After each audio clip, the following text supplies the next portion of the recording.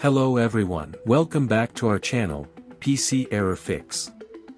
Today, we've got an issue that many Windows PC users encounter, the Microsoft Visual C++ runtime library error. It can be frustrating, but fear not, because in this video, we're going to explain how to fix it. So, stay tuned. The error is usually caused by software conflicts, which means different programs trying to use the same resources simultaneously. It can also happen due to corrupt system files or even malware infections. So, here have a look at the solutions you need to try. Solution 1, reboot the system in a clean boot state. Solution 2, reinstall the Microsoft Visual C++ redistributables. Solution 3, update graphics driver. Solution 4, disable the compatibility mode. Solution 5, uninstall and reinstall the problematic app. Now before starting with the detailed steps in this video, don't forget to like and subscribe to our channel also ring the bell to get notified when another video lands. Solution 1, reboot the system in a clean boot state. The third-party or the startup programs may cause interruption with the Microsoft Visual Runtime Library, and cause the error.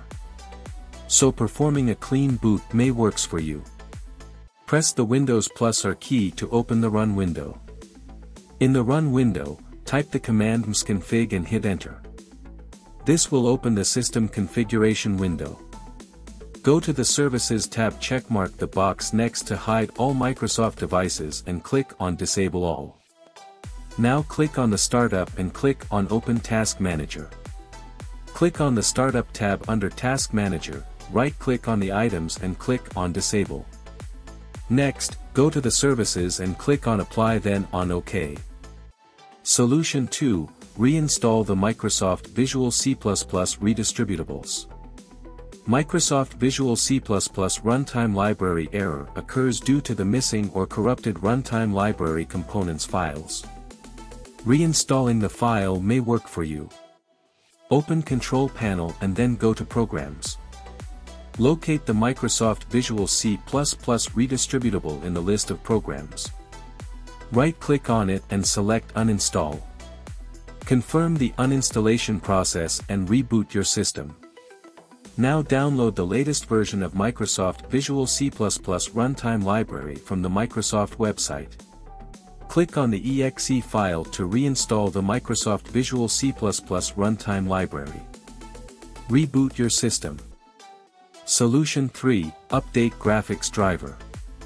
The outdated graphics driver can cause problems with the applications and stop them from running properly. So, let's update the driver and fix the error. Hit the Windows key and type Device Manager.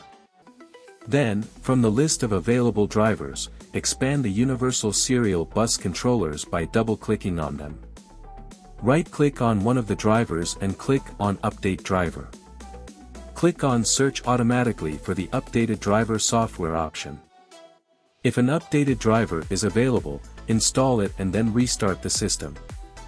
Moreover, you can also update the driver using the Driver Updater tool. This is an advanced tool, that scans your system and updates the entire outdated drivers easily. Download the tool from the link in the description box. Solution 4, Disable the compatibility mode. The compatibility mode feature can sometimes interfere with the program and cause the Microsoft Visual C++ runtime error to occur. First launch the problematic application that is causing the error then right-click on it and choose Properties. Now click on the Compatibility tab and uncheck Run this program in Compatibility Mode 4. Click on Apply and then OK to save the changes. Solution 5, uninstall and reinstall the problematic app. If you are seeing the Microsoft Visual C++ runtime error while running any particular program then uninstall and reinstall the application. Go to Start menu and click on Settings. On the Nest window click on Apps. From the listed apps search the problematic app and click on it and click on uninstall and follow the process to uninstall it. Now install the particular latest version of the application or game compatible with your system from the official website or Microsoft Store. The Microsoft Visual C++ runtime library error may be a bit of a headache, but it's nothing you can't handle. With the right knowledge and steps, you can quickly resolve this issue and get your PC back on track. If you found this video helpful, don't forget to give it a thumbs up, share it with your friends, and subscribe to our channel for more tech tips and solutions. If you have any questions or want us to cover specific topics, feel free to leave a comment below. Thanks for watching.